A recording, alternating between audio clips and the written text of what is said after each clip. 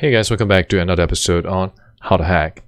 And today we'll be looking at cross-site scripting as well as the importance of your cookie data. And if you're a web application owner, what can you do to prevent the document cookies that are stored inside your user's browser from being compromised, all right, or being forwarded to a hacker who managed to run a cross-site scripting inside your website.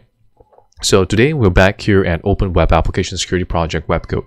So Webcode is a vulnerable web application server in which we can try all our hacking techniques on and learn about how we can stop some of these attacks from happening. So of course, a big disclaimer before we go ahead with the tutorial is that hacking is illegal. All right. And you definitely want written explicit consent from the website owner or the application owner, or unless, of course, you're doing it as part of the bug bounty terms and conditions under those sites. So in this case right here, let us go ahead and get started with the tutorial. So right here, we have cross-site scripting. All right, on the left side, we have cross-site scripting, and we selected stage one, store cross-site scripting. And what is happening here, I can go ahead and select, say, Tom, okay and I can log in as Tom. So I can go ahead and enter Tom as a login. And I can go to the top right corner all right and I can select web developer and I can select the storage inspector. So right here I can zoom a little more so that it is easier for you to see. And right here we have the J session ID and a lot of times this J session ID is used to identify users specifically. And the whole idea of cookies came about whenever you are logging into a website and you have to enter username and your password. And every time you go back to the website, you have to re-enter those values. And that can be very cumbersome. So what instead happened is that cookie was then invented to help mitigate the requirement to continuously re-enter your username as your password. So cookies will save a document into your browser so that whenever you reach the website again, all you got to do is to show that document and it will let you re-enter into the website without having to re-enter username and your password which can be uh, very troublesome so right here okay what we can do is that hackers will definitely want to go after your cookies because once they have access to your cookie they could possibly log in as you all right and if they can log in as you they will then be able to masquerade as you do bank transfers, gain direct access to your account without even having to know your password. So what is going to happen here is I can go ahead and click view profile, all right? And we can see that the user data is right here. And I can do the following. I can click edit profile.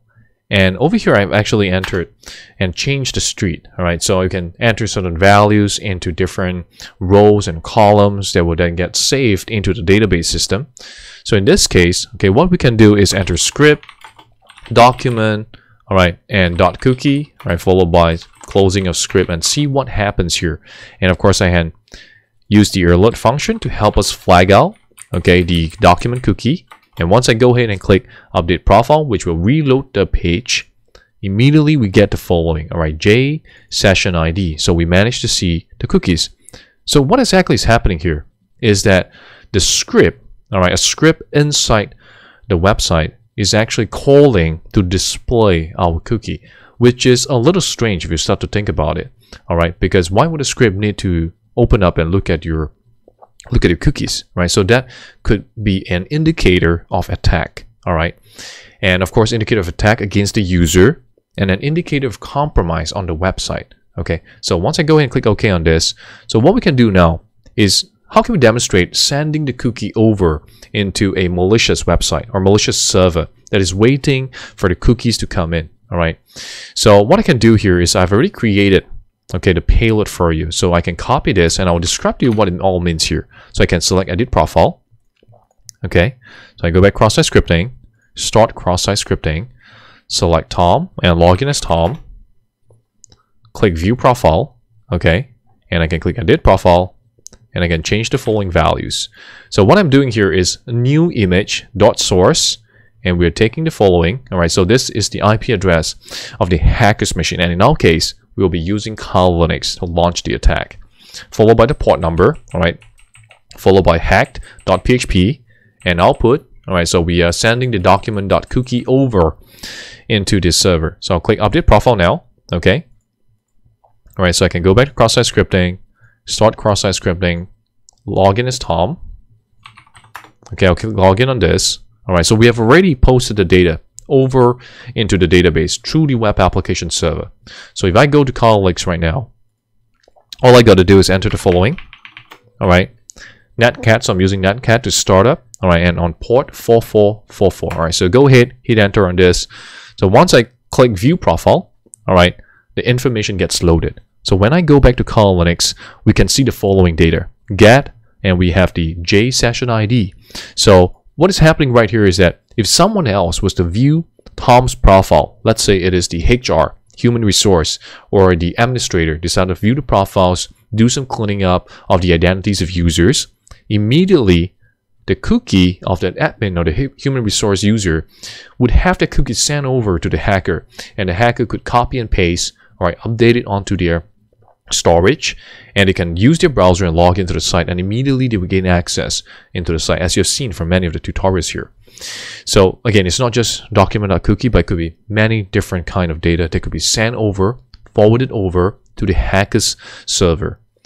So then the question is how can we mitigate all right how can we add layers of security to protect ourselves against such attacks where the hackers would be able to pull out those cookies information? So going back to cross-site scripting all right, going back to cross-site scripting. And I can select the following, HTTP only. All right, so let me explain to you what is going on here. So this is a very important parameter that we can set, right? An attribute, a cookie attribute entitled HTTP only. So that when the cookie is actually sent over into the browser, all right, it does not allow, it would not allow the scripts on the browser all right, to be able to actually pull out the document.cookie. So now I've selected, okay, do you wish to turn HTTP only on? I selected no. And when I click read cookie, it states the following, right? So let me copy this so that it is easier for you to see, okay? So over here, we have the cookies. So we have a unique to you. All right, so this is unique to the user. And we have the J session ID and so on. And what I can do now is to click yes. Okay, I'll click yes. Okay, and right now I'll go ahead and click read cookie. And you see the discrepancy. So I'll go ahead and copy this and paste it onto Notepad++ Plus so that it's easier for you to do the comparison.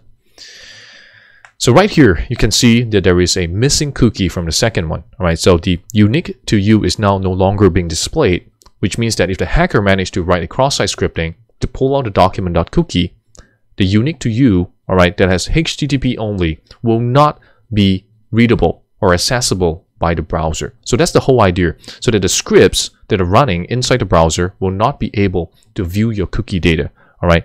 So if I go to the further explanation here under Open Web Application Security Project, you want to declare, all right, especially when all these cookies are used for authenticating users into the website. So right here, you can set the following, all right. You can set the following as HTTP dash only all right, and true. So whenever you're setting cookies for the users on your on your website, all right, remember to set this forward so that you'll be able to prevent all right those sensitive data, cookies information from being forwarded possibly to the hacker server. All right. So once again, I hope you've learned something valuable in today's tutorial. And if you have any questions, feel free to leave a comment below and I'll try my best to answer any of your questions.